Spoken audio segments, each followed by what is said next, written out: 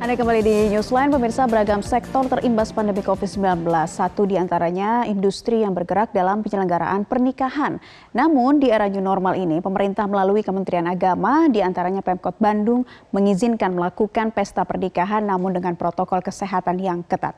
Lalu seperti apa protokol kesehatan tersebut? Berikut liputannya untuk Anda.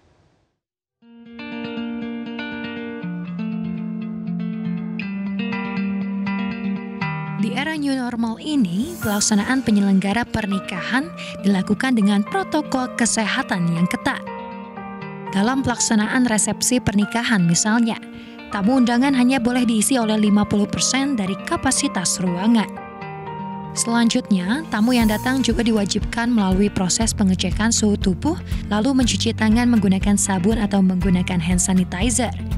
Untuk pengisian buku tamu dilakukan melalui barcode di mana sebelumnya tiap tamu telah mengisi link yang diberikan oleh penyelenggara. Sehingga ketika hendak masuk ruangan, para tamu hanya perlu memindai barcode yang ada. Kemudian, untuk penyajian makanan, petugas catering harus menggunakan sarung tangan, masker, dan juga face shield. Makanan diambil oleh petugas catering dan tamu tidak diperkenankan mengambil makanan sendiri. Kemudian, para tamu diarahkan untuk duduk di kursi yang telah disesuaikan jaraknya. Kalaupun ada permintaan wedding yang di luar kapasitas atau lebih dari 50%, maka kami sarankan untuk melakukan dua kali pesta pernikahan sehingga uh, jarak itu tetap terjaga gitu. Nah, seperti table setting juga, biasanya kalau table setting di kami satu meja itu bisa diisi 10 sampai 12. Nah, di era new normal ini maksimum hanya bisa enam, sehingga jarak antara satu pengunjung dengan pengunjung lain masih bisa terjaga. Selanjutnya, saat proses salaman, tidak ada kontak fisik dengan mempelai dan juga orang tua. Akan tetapi hanya dengan memberi salam hormat atau salam namaste. Seperti salah satu pengantin yang tengah berbahagia ini, Mega dan Naufal, mereka mengaku bersyukur bisa melaksanakan pernikahan dan tentu saja dengan protokol kesehatan yang sesuai dengan peraturan yang ada.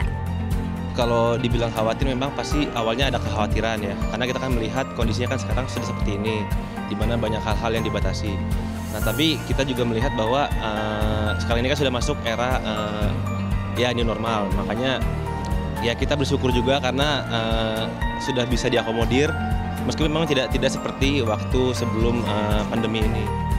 Ia pun berharap penyelenggaraan pernikahan seperti ini tetap dilakukan di tengah pandemi COVID-19 dan ke depannya pandemi ini segera berakhir. Dari Bandung, Andromeda Rizal Bayu Ramdhani Metro TV Jawa Barat. Jangan lupa subscribe YouTube channel Metro TV News dan jangan lupa nyalakan notifikasinya.